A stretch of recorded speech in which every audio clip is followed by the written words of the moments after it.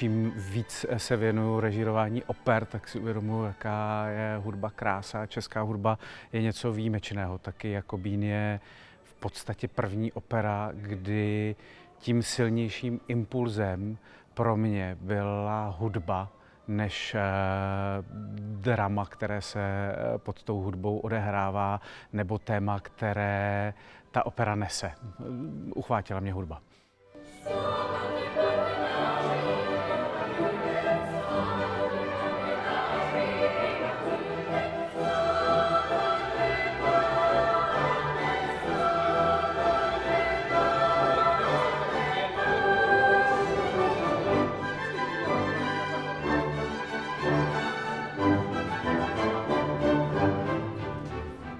Antonín Dvořák do České opery eh, přinesl mnohé.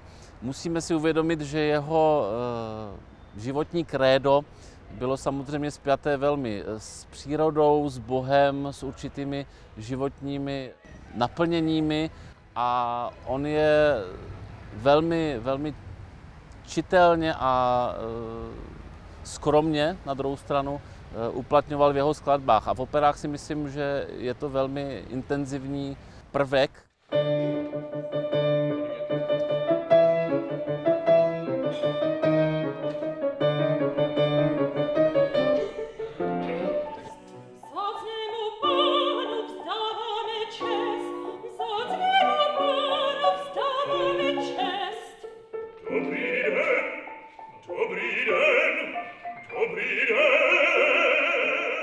Když vezmu jenom Jakobína, tak eh, velmi často střídá plochy dramatické, psychologické, lirické, komické. Myslím si, že eh, vlastně nešetří žádným tím výrazovým prostředkem, tak aby eh, každý takt, každá nota byl bez zbytku naplněn.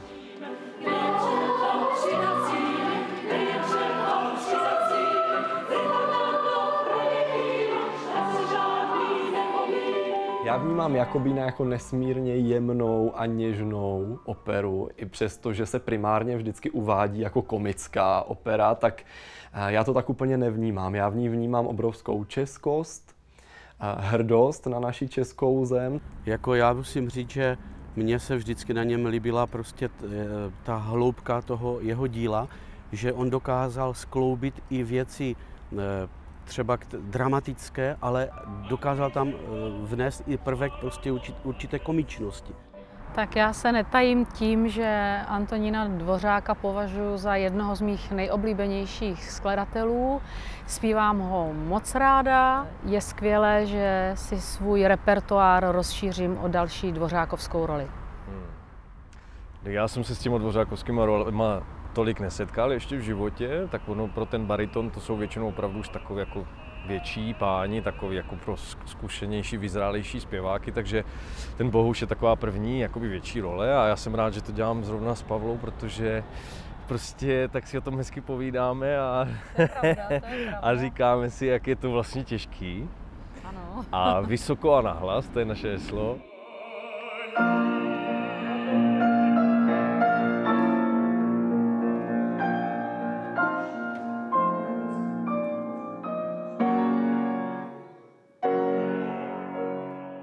Rozhodně jeho eh, kompozice je eh, velice náročná pro zpěváka, nicméně oceňuji, že je velice kantabilní a opravdu jde do hloubky duší zpěváků, lidí, diváků a všeho. Taky mají radost, že to bude hezký. Jo? Jo? Jo. jo?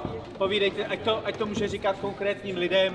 Jestli Jakobín je pro režiséra dar výzva nebo prokletí. Pro mě každopádně je to výzva, protože moje generace díky komunistické výchově má k těm pokladům naší národní kultury, kterou představují opery Antonína Dvořáka a Bedřicha Smetany, minimálně ambivalentní postoj, pokud dokonce je nemáme na jakémsi blacklistu. A já, když jsem Jakobína poslouchal, tak uh, jsem si uvědomil, že to je opravdu poklad, že to je nádherné, veliké, zralé dílo a že bych se chtěl pokusit přesvědčit právě třeba moje vrstevníky anebo lidi, kteří budou mít šanci tu operu vidět za hranicemi naší země, že je to výjimečná opera kvůli kráse hudby a vlastně v něčem i kvůli univerzálnímu příběhu, protože nakonec, tak jak to v řadě oper bývá, jde o to, jestli, jestli pravda, láska, dobro zvítězí nad nenávistí, lží a intrikami a to se tady nakonec, nakonec stane.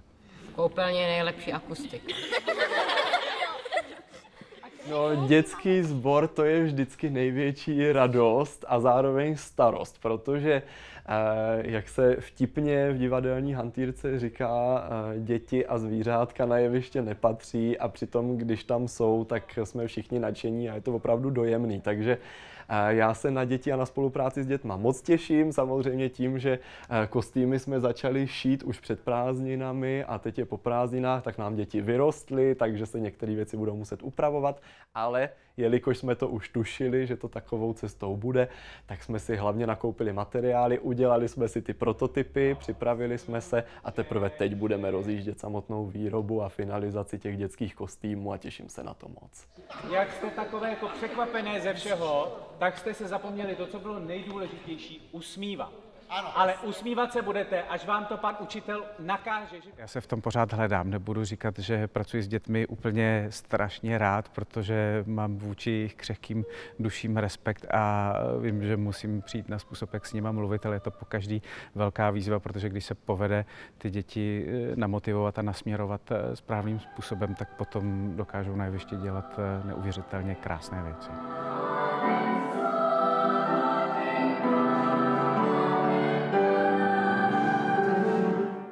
Jakobín je dílo, které Antonín Dvořák vlastně vůbec nechtěl psát. Jeho plán byla komická opera s námětem, jenž by měl šanci na zahraničních scénách. A místo toho dostal od Marie Rigorové Červinkové libreto, které jakoby vykouzlilo obrázek z jeho dětství. Paradoxně původní inspiraci k libretu našla Marie Červinková nezávisle na skladateli a takovou hlavní postavou nebo ústředním bodem celé opery je český kantor, typický pro 18. a 19. století, který učil ve škole, zároveň se staral uh, o kůr v kostele, hrál tam na varhany, psal hudbu ke mším, ale i k tancovačkám na vesnici. A učitel Benda jako pěje, jako jak je, jak, jak je s vámi spokojen? Pan režisér chtěl, aby, abych byl jako takový, eh, takový učitel, který Eh, který je takový živý, temperamentní a na jedné straně a na druhé straně je to takový ten učitel typu Jana Amose Komenského, eh, čili učitel, kterému jde prostě o to, aby ty děti, jeho žáci, jeho studenti byli prostě takový dobří a správní. Přesně pro tebe, na tvou povahu a ano. na tvůj charakter.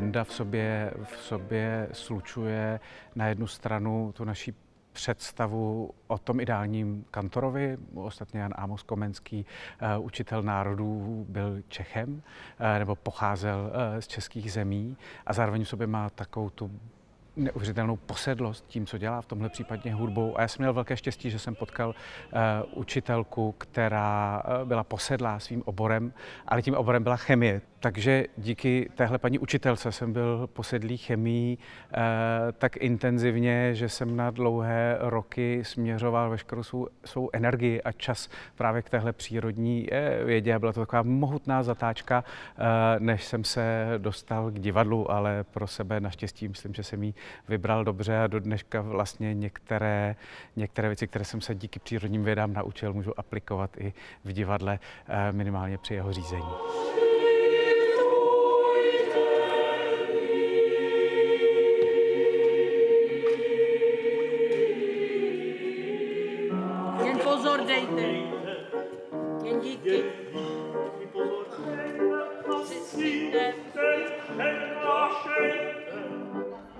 Tak já jsem takového bendu zažila na základní škole profesora hudební výchovy. A jelikož jsem z muzikantské a hudební rodiny, tak už jsem zpívala a hrála na klavír, takže on mě brzy takzvaně odchytl a zpívali jsme solově v takovém triu, Takže vlastně on byl první, který mě nechal solově zpívat na vystoupeních, takže svým způsobem jsem takový, jako takové povzbuzení k umělecké dráze dostala už na základní škole. A nebýt právě takového kantora, jako je Benda v Jakubínovi, mohla mít Nela Hozevs místo světového autora Novosvětské symfonie šikovného řezníka, který prostě zdědil řemeslo po svém otci. Hudební talent malého Antonína podporovali právě takoví lidé, ať už doma v Nelahozevsi, ale tím nejdůležitějším byl Antonín Líman ve Zlonicích, kam přišel dvořák jako mladý chlapec, kde dostal své první pořádné hudební lekce. Sám potom vzpomínal, jak hrál první solo na housle v kostele, jak rozechvěle ladil housličky a třásl se mu smíčec při prvních tónech, ale všechno dobře dopadlo. A co víc, Antonín potkal ve Zlonicích i Terinku, starší dceru pana učitele Límana, která mu byla nejenom hudební partnerkou, ale zdá se, že i jeho první láskou.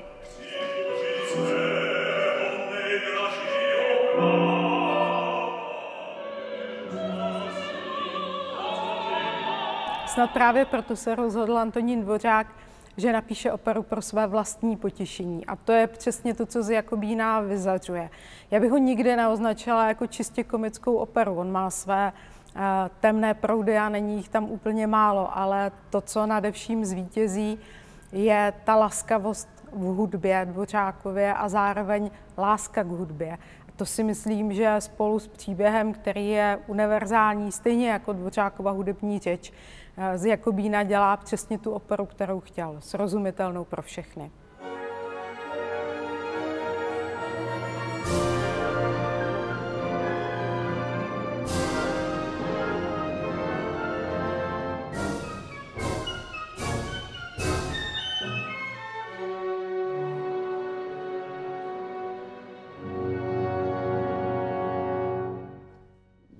Když jsme s Pavlem Borákem eh, hledali způsob, jak scénograficky pojmout eh, Jakobína, tak pro nás byla inspirací právě ta česká krajina, kterou já slyším znít eh, v hudbě celé té opery.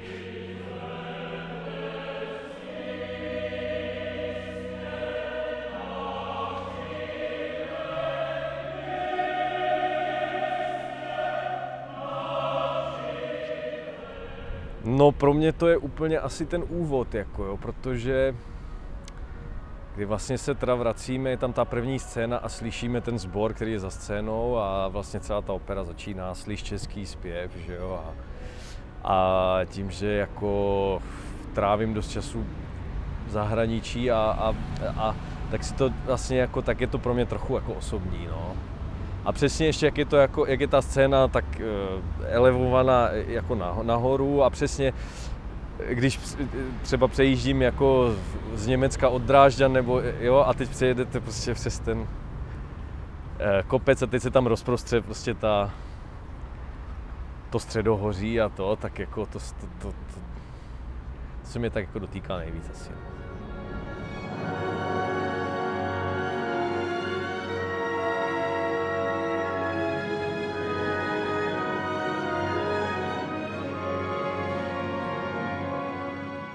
Mě tam vyšla přesně ta krajina, kterou známe z krkonožských pohádek, jak tam krakonož překračuje ty kulisy malovaný. A právě ten krakonož byl podstatný, eh, podstatná inspirace, protože jsem si začal hrát s měřítkem. Eh, to znamená, že vlastně to, jak je on obří a ta krajina je malá a to měřítko je jedna z podstatných věcí, které se eh, v té scenografii objevují nebo vlastně poměry, hraní si s poměry, hraní si s měřítkem. Tom se do toho promítly další věci, když už jsem si řekl, že by bylo fajn do té krajiny umístit ten, eh, to městečko. Bylo mi jasný, že prostě potřebuju, aby ti solisti byli, ti krakonošové tam v té krajině, takže najednou byly ty domečky malý. Eh, bylo to zároveň i něco v takovém eh, tom, jak se člověk vrací, že on se vrací vlastně do toho místa, kde vyrůstal. A je to stejně, jak eh, když jdeme do dětského pokojíčku a zjistíme, že všechno je menší najednou, protože jsme byli prťaví, když jsme byli malí a všechno se to tvářilo, že to je obrovský a najednou se tam přijdeme po 20 letech a zjistíme, že všechno malinkatý, ty hračky jsou malinkatý. Takže to byla další taková věc, tady ten posun vlastně, který souvisel s tím návratem.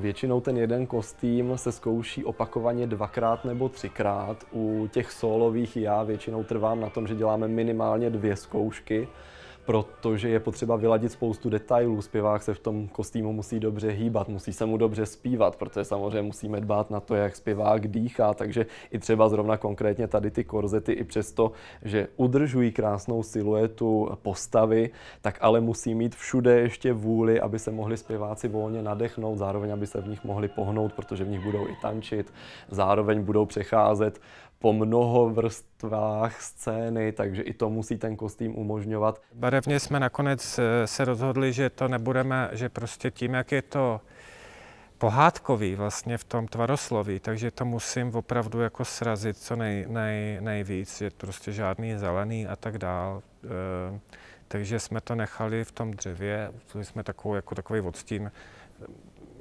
který mě se vlastně je, líbí, eh, ale to se dá světlevně všechno jakoby pořešit. No a potom všechny ty ostatní věci jsou vlastně v odstínech, jako kdyby dělal, jako kdyby člověk viděl model architektonický, eh, jako když se ještě dnes se dělaly vizualizace, že jo, tak eh, vlastně jsme zůstali asi v pěti odstínech šedé plus bílé a všechno to by mělo působit opravdu, že to je až jakoby Eh, architektonický modílek. Hlavně mě inspirovala barevnost té doby. A ta je pro mě taková, mám pocit, i docela příznačná, protože třeba odstíny okru jsou jedny z mých nejoblíbenějších, takže když můžu, tak se k ním hrozně rád upínám.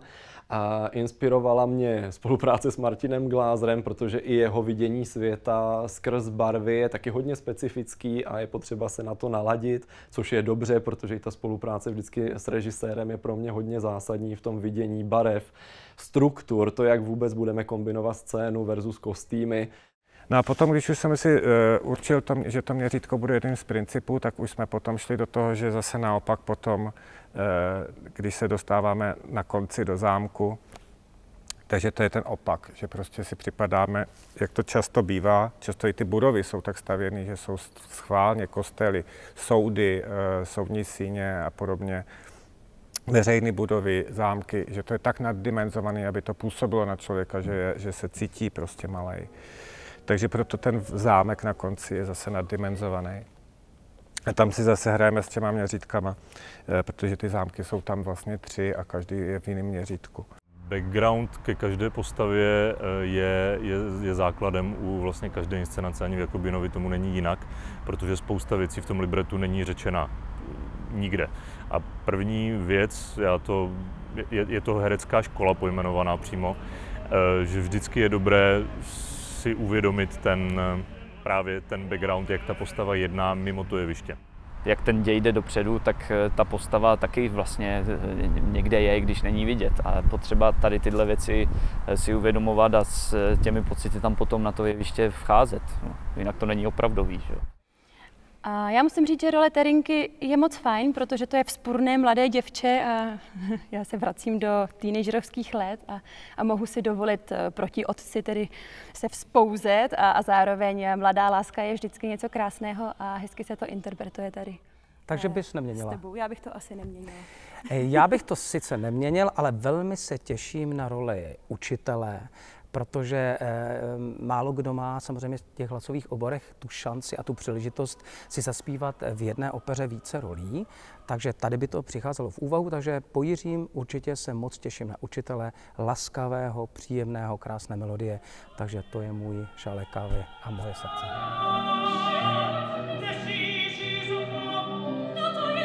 Kdybych eh, zpíval jiný hlasový obor pořád, asi ten Purkrabi by mi přišel nejzajímavější z těch rolí. Ono většinou ty kladné role bývají takové příliš, nechci říct nudné, ale takové přímočaré. Ti záporní jsou většinou zajímavější a přece jenom lidi trochu eh, tíhnou k tomu, že fandí víc těm eh, záporným, když to nakonec všichni víme, jak to dopadne a většinou to dopadá dobře, minimálně v těch českých operách, takže a i po herecké stránce je to vděčnější vždycky hrát, hrát záporáka, je to, je, to, je to zajímavější. Já si myslím, že téma francouzské revoluce, jakobinství, byť je nám dneska už velmi vzdálené, ale nám je vzdálené, nebo některým generacím je vzdálené i to, co se stalo před 30 lety, eh, může přinést eh, zase další eh, významný rozměr, protože eh, ta revoluce sebou přináší, nebo téma revoluce sebou přináší ty základní věci jako touha po svobodě, touha po rovnosti a po spravedlnosti a zároveň sebou nese téma jinakosti, protože ti lidé, které, kteří přicházejí se zkušeností zvenku, jsou proti té malé české komunitě jiní a i to je velmi podstatný téma pro dnešek, ta obava z jinakosti, to jestli jsme schopni přijmout eh, jiný pohled na svět, na život, eh, jinou životní zkušenost a v tom si myslím, že by mohla být spojnice k dnešku. Já moc, já moc komický bohužel nejsem, i když mě jsou ty e, vtipné a komické role bližší než ti zákeřňáci do tí opravdový, ale tady teda bohužel nemám moc na výběr. Ten zlej jsem doopravdy já tady. U mě je to spíš o tom, že, eh, že on si kompenzuje ten purkrabí, zejména to, že ho nikdo nemá rád v té opeře, takže se snaží, snaží za každou cenu eh, se udržet mocensky tam, tam kde je, a, ale není to, není to takový ten padouch non plus ultra. Mně se líbí přerod té Julie ve třetím jednání, protože ona ze začátku vlastně přijde s manželem do maloměsta, které nezná a spíš tak poslouchá, stojí, stojí, stojí mu po boku. A v tom třetím jednání vlastně z té křehké Julie se stane taková v uvozovkách medvědice, která udělá všechno pro to, aby vlastně eh, starému pánovi vysvětlila, že jeho syn není žádný Jakobín a žádný zhýralec a vlastně je jediná, komu se to podaří. Background Adolfa Zarasova je takový, že je to prospě, prospěchářský floutek, který jde přes mrtvoly a, a vlastně ostatní lidi jsou mu naprosto ukradení, jde si prostě jenom za tím svým prospěchem a za ničím jiným.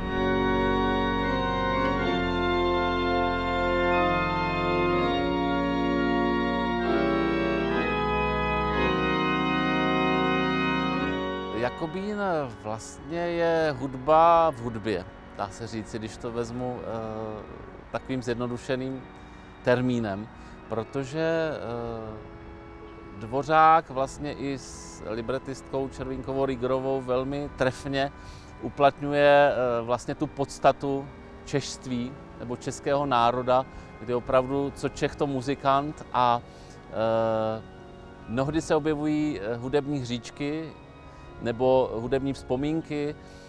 Z dirigentského hlediska myslím si, že Jakobín skýtá řadu krásných momentů, od eh, prvního vstupu po introdukci, kdy zaznívají eh, kostelní varhany. Myslím, že to je velmi silný moment eh, celé opery, protože Dvořák, který byl spjatý velmi s křesťanstvím, tak i na kůru ve Zlonicích tehdy hrával mariánské písně a velmi se k ním rád vracel. Takže vlastně tato mariánská píseň zaznívá na úvodu naší opery.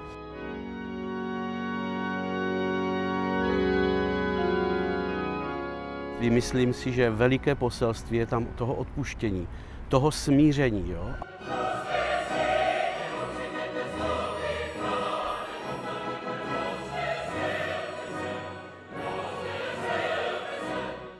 To je prostě ten, i ten závěrečný sbor, jsou smíření, eh, hudba prostě se navzájem překrývá, slova do toho, je to takový vyznání a myslím si, že to je záležitost, kterou všichni moc a moc potřebujeme.